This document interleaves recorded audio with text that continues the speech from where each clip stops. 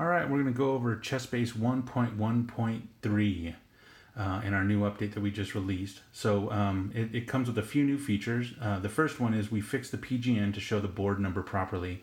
And uh, a big thanks to Kevin B for uh, letting us know about this. Essentially, what happens is when the PGN was opened up in ChessBase, uh, it would only show the round that you played in, but it wouldn't show the board that you sat at.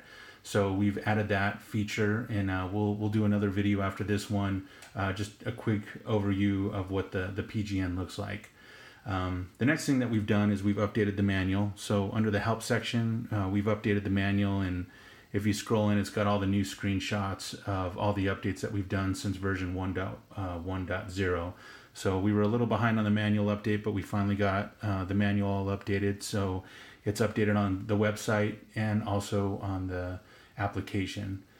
Uh, the next thing that we've done is uh, we've set up all the, the screens inside uh, ChessNoter to basically be on all the time. So the screen will never turn off anymore on you. So no matter, uh, you know, if you go to the board settings or you go to the review games, um, there's no review games on this because this is a fresh loaded uh, device, but essentially the screen will never turn off anymore. So regardless of what you have set inside the system settings on the Android operating system, uh, it'll always just leave the screen on.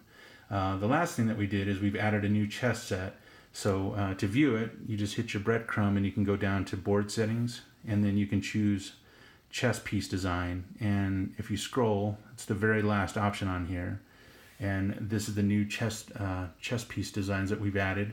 Uh, this is uh, we, we, we, we got this from the artist Daniela Di Lena, and uh, we'd like to thank her for um, these chess pieces. They look great in the application. Um, uh, we did a little bit of tweaking on them to make them look a little thicker, a little little fatter, so they fill up the chessboard squares a little better. Um, so, but think they look good over overall. She has one more set that we'll probably be adding in the next update that we do, but we kind of just wanted to throw this out here and see what people thought about it and see if we get any comments on it.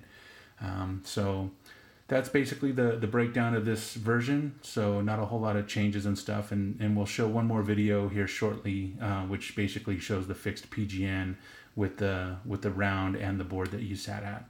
So thanks.